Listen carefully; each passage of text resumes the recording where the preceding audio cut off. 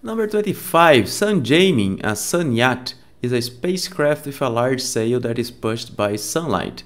Although such a push is tiny in everyday circumstances, it can be large enough to send the spacecraft outward from the Sun on a cost-free but slow trip. Suppose that the spacecraft has a mass of 900 kilograms and receive a push of 20 newtons.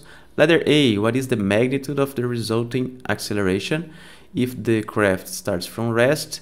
let Letter B, how far will it travel in one day? And let letter C, how fast will it then be moving? So the first thing that we have to find is the acceleration of the spacecraft. So let's remember that force is equal to mass times acceleration. So acceleration is equal to force over mass. The force in this case is 20 newtons and mass is 900 kilograms. So if we do this calculation over here, we would find 0. 0.22 meters per square second. So that's the answer of letter A.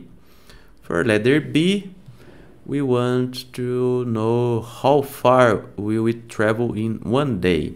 So let's remember that if the acceleration is constant, x is equal to xo plus vot plus at squared over 2 we can say that the initial position is zero so let's cross this term out.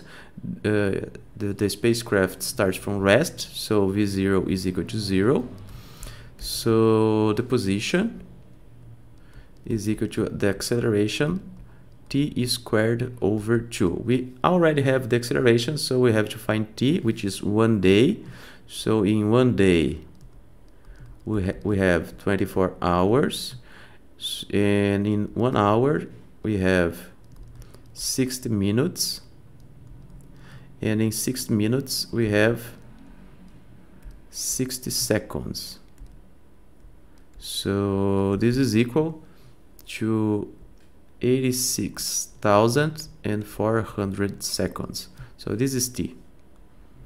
Okay so we can replace the letter by the number. So x is equal to 0 0.022 times 86,400 and don't forget to square this number and this is over 2 and the answer is 8.3 times 10 to the 7th meters okay so that's the letter of letter b that's the answer of letter a that's the answer of letter b Let's how fast will it be, be moving. So let's remember that if the acceleration is constant, we can say that v is equal to vo plus at.